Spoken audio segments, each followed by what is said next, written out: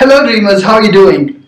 This is not a regular video. Today I'm not going to give you any information regarding the Express Entry program or the Australian immigration. But this video is going to be very important because I'm going to raise a very important question in this video. Now this is a doubt in my mind. I'm not blaming anyone, but still this is a very important doubt. Is IDP India or British Council actually making IELTS a money making machine for them? Are they deliberately cutting down your scores so that you can actually reappear for the exam and give them more money? So this is the question that I want to raise through this video. Now this is just a thought in my mind. I want to know about your views. I'm not blaming them. Of course, I have no evidence and you know nobody can actually blame them. But this is just a thought in my mind. Why it came up? It was actually two, two years ago in 2016 when I gave my IELTS exam. I scored 6.5 in uh, writing.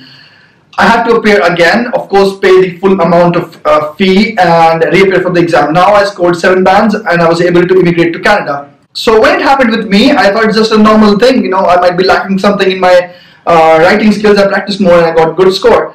But when I actually saw this thing happening with my friends, friends of friends, and now I see so many of you actually commenting in my Facebook uh, group and also the YouTube comment section it's not a secret for anyone. If we score CLB 9, which means, you know, 777 in each of these sections, apart from uh, listening, which should be 8, we actually get, you know, 45 points or, you know, something like that added to our uh, CRS score. It's a drastic change in your CRS score suddenly. Similar is the case with Australia. We get 10 additional points for uh, scoring 7 in each of the uh, IELTS sections everybody's aware and the British Council and the IDP India of course would be aware of the same fact. Now the other point to notice is that this problem is actually in the speaking and the writing section. Of course the other two are the uh, objective types, right? You have to give the answers in one word or in multiple words. So it would be more easier for them to manipulate the scores in these two sections.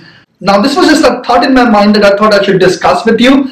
So I would request you to please comment if this has happened with you or with your friends as well.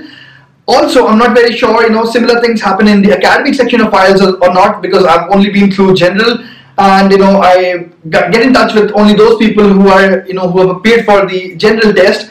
So if you feel similar things have happened with you or your friends in the academic section or in the general section, please comment down below do you think that actually IDP India or British Council actually do it deliberately or do you think that you know they will never play such games? I really want to know your views. What do you think about it? Is it a thought only in my mind or there are many people out there who think the similar way? Whatever is in your mind, please write down in the comment below and I would definitely try to address it. Thank you guys for watching this video. I'm really expecting a comment from you. Whatever your thought is, if you think uh, they're actually making it a business, a money making machine, or if you think otherwise as well, please do comment and let me know. Also, all those people who haven't subscribed my channel yet, what are you waiting for? Please subscribe it right now.